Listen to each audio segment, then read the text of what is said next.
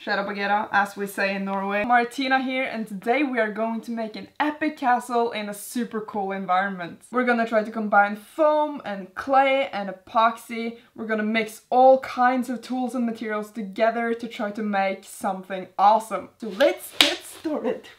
So I'm basically gonna build the whole model onto this wooden, I guess it's a serving tray. So I've just pulled out the old Styroslicer and in the description you can find the links to all the tools and materials and stuff that I'm gonna use in this video. Anyway, let's start cutting some styrofoam.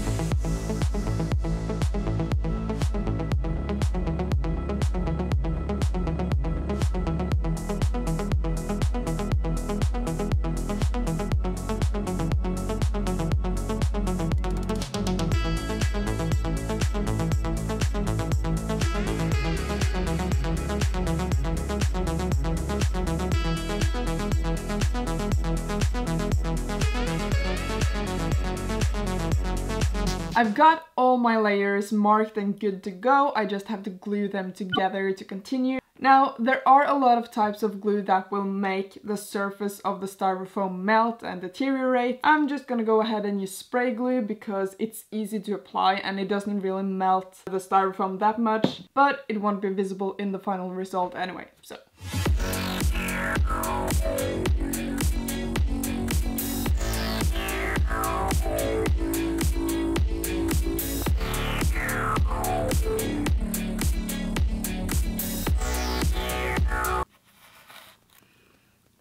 So for the next step I'm gonna use acetone to... Bonnie! For the next step I'm gonna use acetone to melt the styrofoam on purpose. This will help to blend the layers a bit better together as well as make a like stone-ish texture on the styrofoam. Come on Bonnie, you're distracting everyone. Let's just begin. I'm gonna throw her out. No, no, no, no.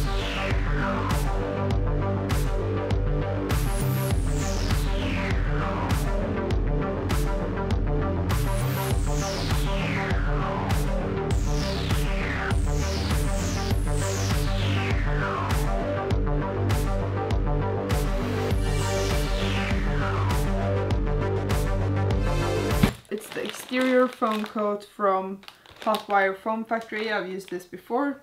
Very nice. I'm just gonna go ahead and first of all get my dust mask and gloves. So yeah, I'm just gonna go ahead and mix it together and put it all over the model.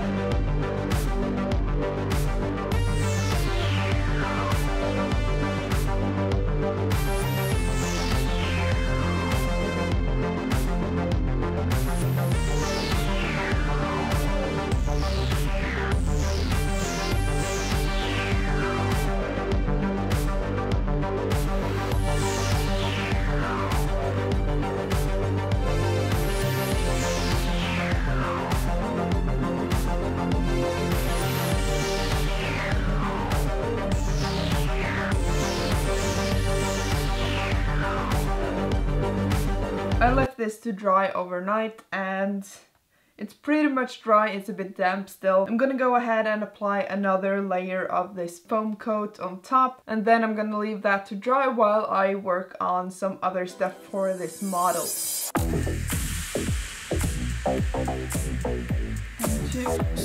this for another couple of. I haven't really talked about my idea for this model, but I'm thinking to place the castle here on the larger mountain and then have like a little path leading the way up here to a bridge going over. And then in the crack between the two mountains, I'm gonna make an epoxy river with some cool waves flowing down. But what I'm gonna make next is a tree. I wanna place the tree about here. Relative to the scale of this model is going to be huge and epic, but in reality it's gonna be like this big. probably. There seems to be like one common thing that everyone does, which is make the base out of wires, which I'm also gonna do. Most people seem to cover up the wires with something rubbery, but I really want to get better at using clay, so I am actually thinking of trying to use clay on top of the wires. Anyway, let's get started on the tree.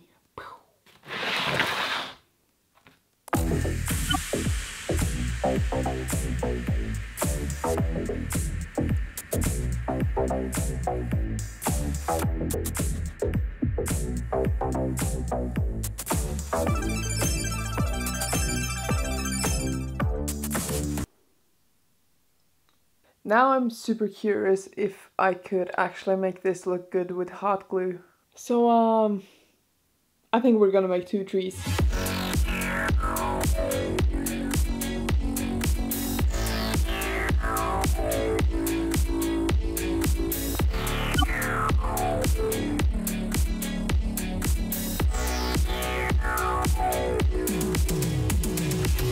It's definitely harder than it looks on the videos, I'm not gonna lie.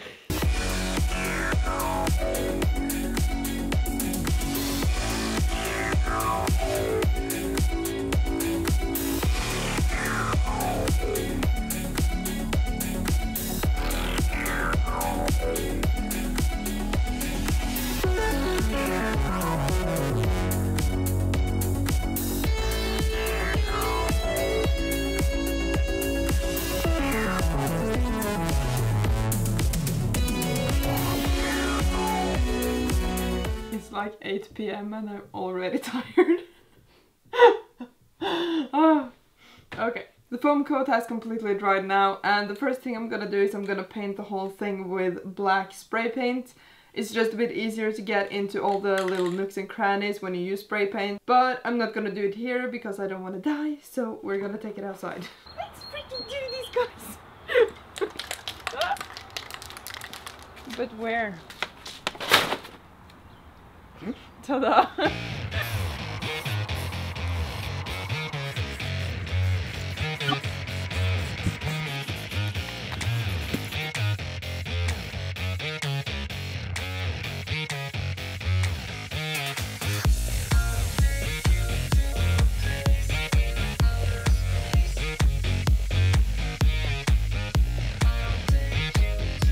let's move this thing into the garage so we can dry there and not suffocate us in the in the house, in the room, in the in the in the masterpiece. Oh, I missed this part. That how you're supposed to spray? No, absolutely not. So don't don't take it from me. Go with someone else on that. So I'm gonna come back and pick you up tomorrow. Bye. Good morning guys. The model has been drying outside for the whole night. Oh god. Question is, is it dry? Yep. It's so damn bright. Back to the basement. Oh, look who was already here. Hi, handsome. Ugh. Ah, yes. The smell of basement and no natural light. Mwah. Even as excited as I am to get started on this model, we're gonna put this bad boy to the side because we're gonna continue working on the trees that we started on yesterday. I like how this turned out, it looks pretty dope, but the only thing I think I would like to change about this is to have some more branches on it. I'm not sure if it will even, you know, make a difference in the end result, but it would be cool just to try it out, you know? Maybe it will, maybe it won't. We'll see. I don't know. You don't know. We don't know, let's go.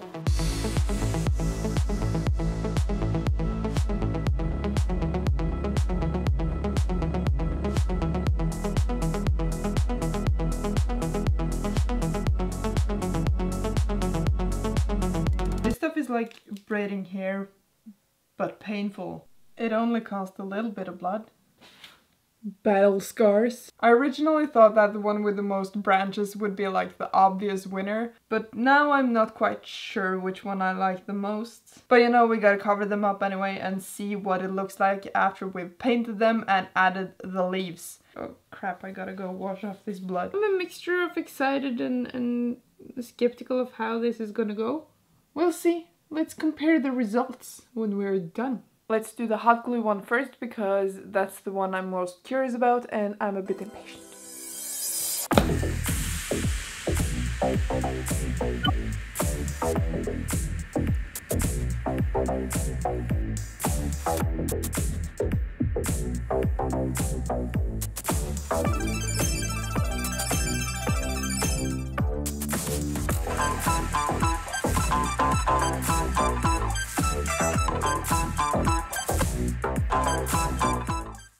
Guys, we are outside again. If you're wondering why my voice is a bit off, it's because I've had, you know, the sniffles for the past couple of days, so uh, excuse my voice. I'm just gonna look around and try to see if I can find any uh, suitable twigs to attach to the trees I have already made. And also I thought while I'm outside, I might as well try to find some pebbles or gravel to use as boulders on the model. Oh my god.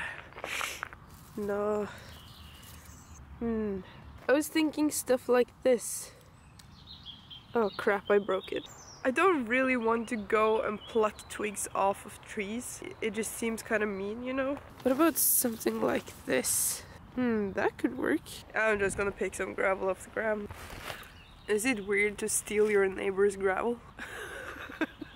I just realized that's pretty much what I'm doing. Also, this was a super flattering angle. It looks like one of PewDiePie's vlogs. I think that's a, a pretty good catch. Let's go inside before this becomes any weirder. Also, I have a question. Like, should I paint the rocks to make them look like rocks? Or should I leave them and make it look kinda weird and not part of the same thing? I'm very confused.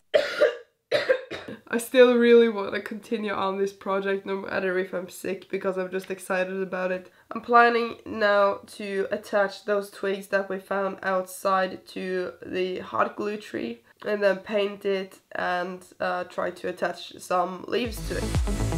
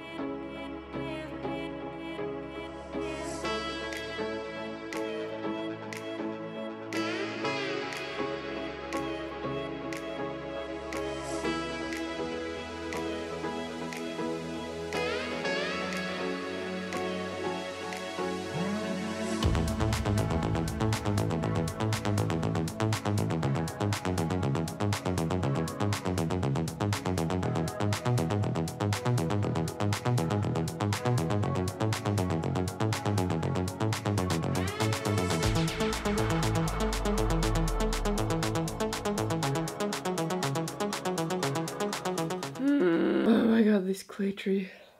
This clay tree is taking forever to make. Oh my god.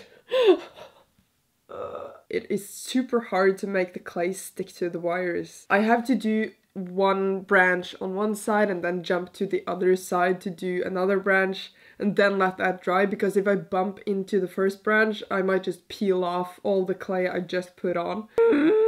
But for all I know, I might just be using the very wrong type of clay for this purpose and there might be other clays that sticks better to metals. I don't know. If it wasn't for the fact that I really want to compare the result of this tree to that tree, I don't really think I would have even finished it. So if you have any good tips on using clay, please leave a comment on that and I will try to absorb the knowledge. When it comes to painting rocks, there seems to be like three main techniques that people use, at least that I've seen. The first is stippling, then there's dry brushing, and then third there is washing. Anyway, I'll leave a link to a couple of good resources in the description. If you are interested, you can go and check that out to get some more in-depth tutorials on how to do these types of painting techniques.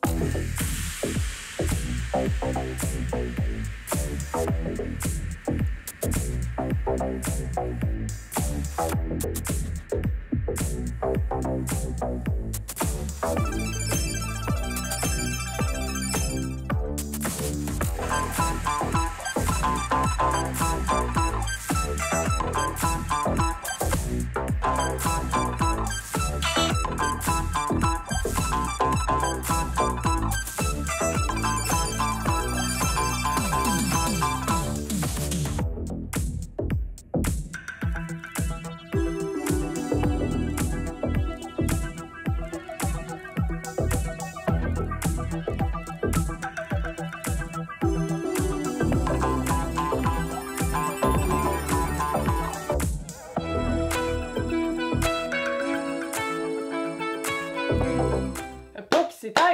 Epoxy time.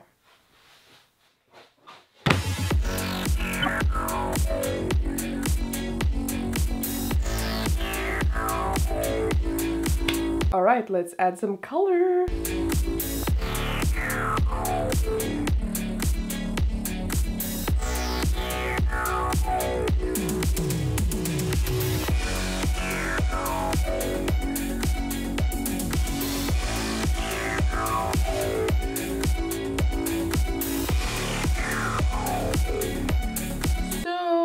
Now that we have done all the fun stuff, I gotta finish the not so fun stuff.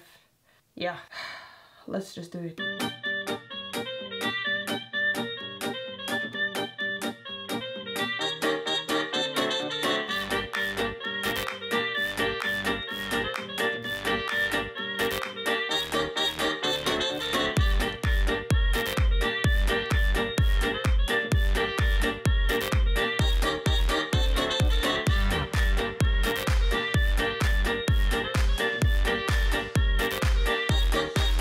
Okay, so let's talk about the results. I'm very, very happy with both of them in their own way. I have some pros and cons for both of them. Well, the hot glue one is super easy to make, it was super quick, and it's also flexible. The con is that the trunk doesn't look as realistic as the clay one, and it just feels overall a bit plasticky and flimsy. Now the positive thing with the clay tree is that it's super easy to make a realistic texture on the tree. It also is more matte on the surface than the hot glue one. It's easier to paint as well, the paint sticks better to the surface. Now, for the cons of making this clay tree, it almost drove me nuts because first of all, the clay doesn't really stick to the wire. Second of all, it kept falling off and it's very brittle. It's not flexible at all like the hot glue. And also, it takes a lot longer to dry and get ready for painting.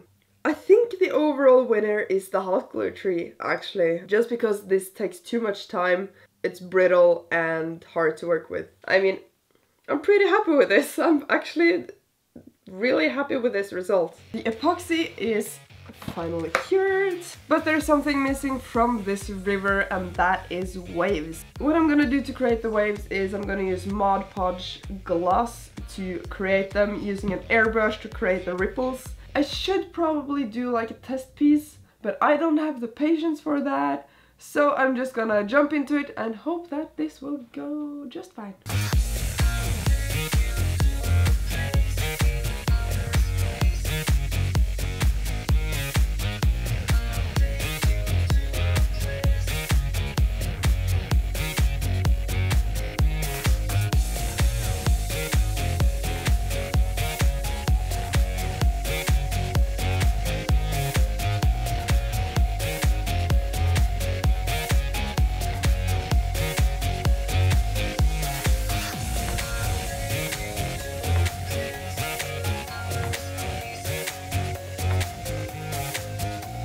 Thing that's left for me to do for now is to attach this tree to the model and I've come up with a very elegant solution of simply taking this screwdriver and ramming it into the model and then just bending the roots and stuff to fit into the holes and glue it in place.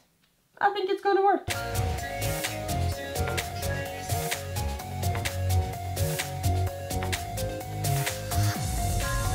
Hey guys, we're outside again. We're gonna take a look at the final result in just a second. Hey Clyde. I think our cats are the stars of the show, aren't they? Next time we're gonna start working on the castle and the bridge. Thank you so much for watching and make sure to subscribe and click the bell button so that you will see the next part of this project. Thank you so much for watching and I'll see you very soon.